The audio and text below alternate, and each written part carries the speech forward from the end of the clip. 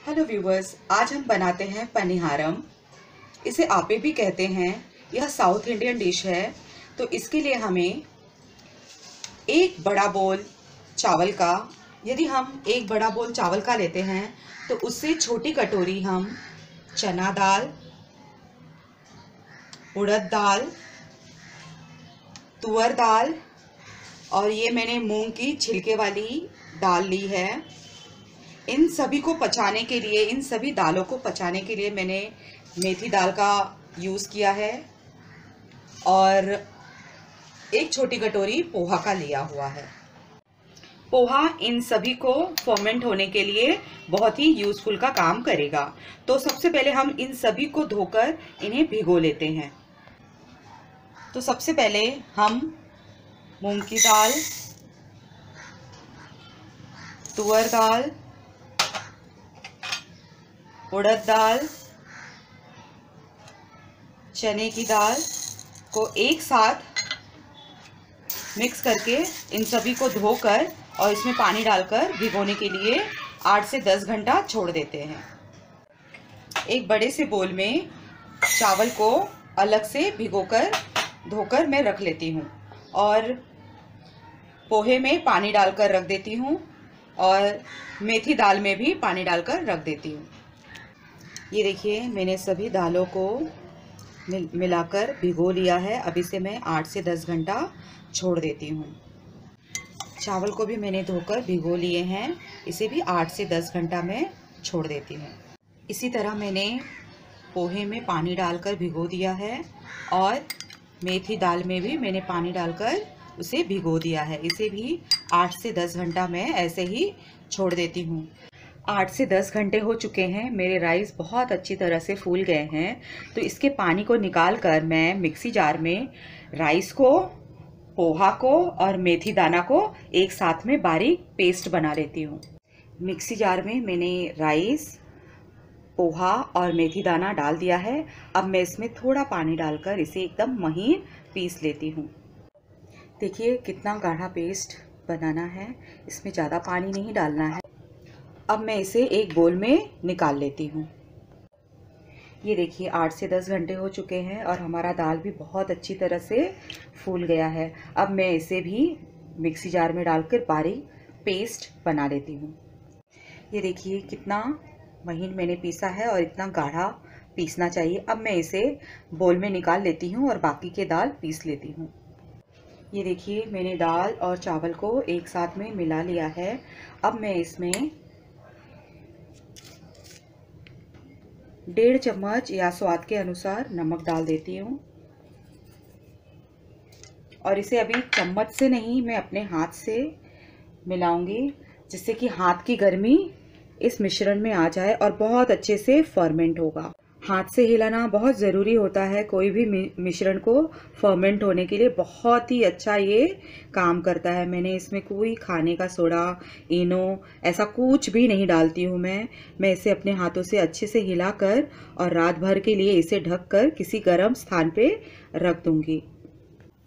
Viewers रात भर के लिए मैंने जो छोड़ दिया था, अभी देखिए कितना अच्छा फर्मेंट हो चुका है। अब इसमें हम एक तड़का लगाएँगे। तो तड़के के लिए हमें एक टेबलस्पून राई, आधा टेबलस्पून ज़ीरा, एक बड़ा प्याज कटा हुआ, थोड़े से कटे हुए छोटे साइज़ में अदरक और तीखा आपको जितना चाहिए तीन से चार हरी मिर्चें। बारीक कटे हुए मैंने करी लीव्स लिए हैं और एक छोटा कटोरी बारीक कटे हुए हरी धनिया।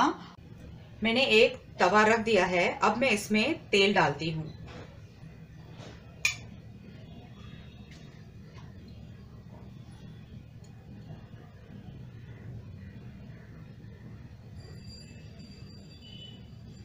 ये चार टेबलस्पून तेल है। तेल को हम पहले गरम करेंगे। तेल अभी गरम हो चुका है तो सबसे पहले मैं इसमें राई डाल देती हूँ।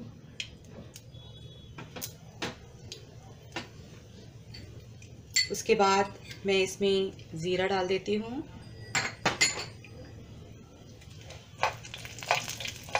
जीरा और राई तड़कने के बाद मैं इसमें कटा हुआ प्याज डाल दूँगी।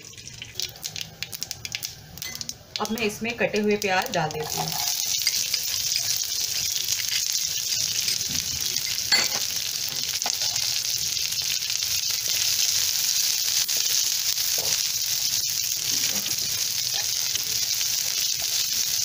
प्याज प्याज को हमें ट्रांसपेरेंट होने तक भूनना है।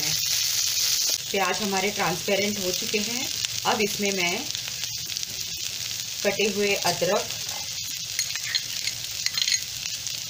और कटे हुए हरी मिर्च डाल देती हूँ। और इसे एक मिनट के लिए चौते करेंगे, जिससे कि अदरक और हरी मिर्च थोड़े से पक जाए। अब इसमें मैं कटे हुए करी लीव्स डाल देती हूँ और इसे भी एक मिनट के लिए सौते कर लेती हूँ। अब देखिए हमारा तड़का रेडी है। अब मैं इसे मिश्रण में डाल देती हूँ। अब ये सारा तड़का मैं इस मिश्रण में डाल देती हूँ। और इसे अच्छी तरह से चला लेती हूँ। अब इसमें मैं कटे हुए हरे धनिया डाल देती हूँ सारा का सारा। और खूब अच्छे से मिलाकर इसका हम आपे बनाएँगे। ये हमारा मिक्स्ड दाल का आपे है। ये बहुत टेस्टी होता है। ये आपे पात्र है। अब मैं इसे गैस पे रख दिया है और मैंने गैस ऑन किया है। अब मैं ब्रश की सहायता से हर गोले में मैं, अब मैं इस गोले में ब्रश की सहायता से तेल को थोड़ा स्प्रेड करूँगी। जिससे कि हमारा आपे इस पर चिपकेगा नहीं और बहुत ही क्रिस्पी निकल जाएगा।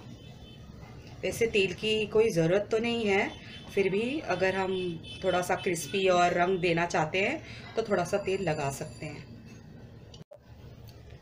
आपे पैन गरम हो चुका है, अब मैं एक बड़ा स्पून से इन सभी होल में, गोले में ये पूरा मिश्रण में भर दूँगी पूरा ऊपर तक।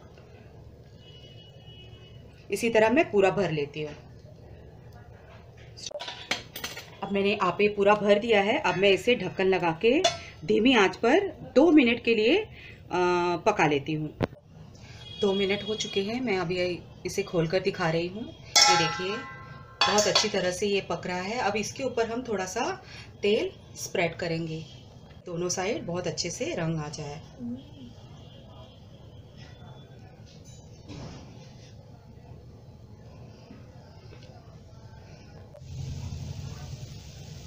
अब मैं इस के सहायता से इसे पलट देती हूँ। ये देखिए, बहुत अच्छा रंग आया हुआ है और बहुत अच्छे से पलट भी रहा है।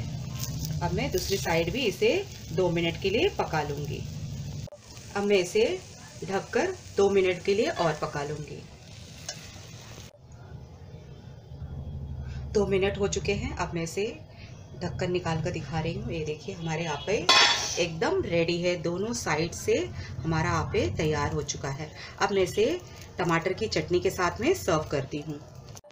हमारा आपे खाने के लिए तैयार है। इसे आप टमाटर की चटनी के साथ, नारियल की चटनी के साथ में सर्व कर सकते हैं। यह पार्टी के लिए और बच्चों के टिफ़िन के लिए बहुत ही अच्छा एक स्नैक्स है।